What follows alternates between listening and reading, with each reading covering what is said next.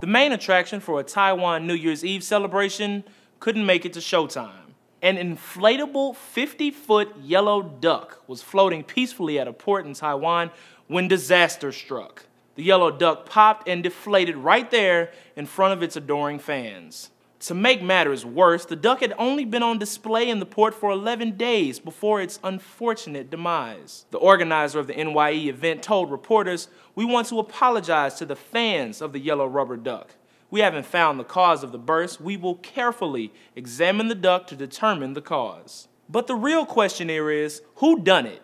Theories have been pouring in. CNN cites sources who say an envious eagle is behind the mystery, writing, Jealousy could very well have been the motivation behind this unprovoked attack. Whatever the cause, someone has got to put an end to this senseless violence against the giant yellow duck, because this is not the first time this has happened. The BBC writes, last month a similar duck was damaged elsewhere in Taiwan when an earthquake triggered a power outage that caused it to deflate.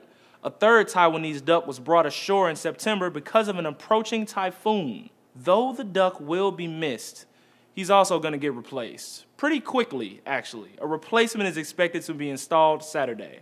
For Newsy, I'm Jamal Andress.